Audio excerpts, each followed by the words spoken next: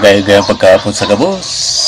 Ngunyan, katapusan na kang Hunyo, June 30, 2021. Naisip ako mag-compose ng kanta na naman.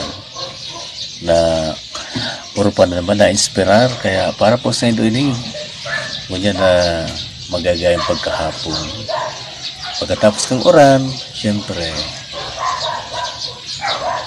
maliwanag magdiraroy ang kalangitan. Sabi nga ni Kayan sa panahon kang sa tuwing kasakiran ko niyan sa panahon ng pandemya igwa mangyayari kitang mahiling na kaliwanagan sa bandang huli kaya alay ko po ini sa indo ka boss.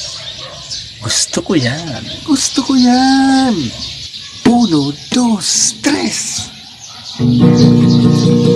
Gusto ko yan, gusto ko yan.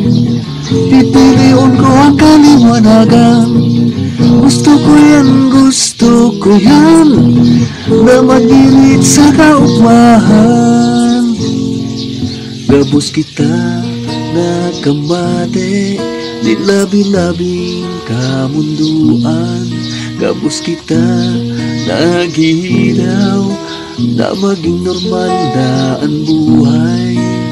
Ang lagad ang pagpruban Di nalawi pang marhay. Dai kita makabueno Di pagiro sa araw Mag-aral kita sa mahal na Diyos na matapos na ang pagsakit asin pagtios kung bulanos ang pag-aral siyerto akong mauuto. Basta gibun lang ang tama minamaot mauuto. Gusto ko yan, gusto ko yan. Pipiliun ko ang kaliwanagan. Gusto ko yan, gusto ko yan. Na magirit sa kaugmahan Gusto ko yan, gusto ko yan.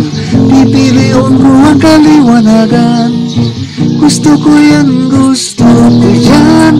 Na magirit sa kaugmahan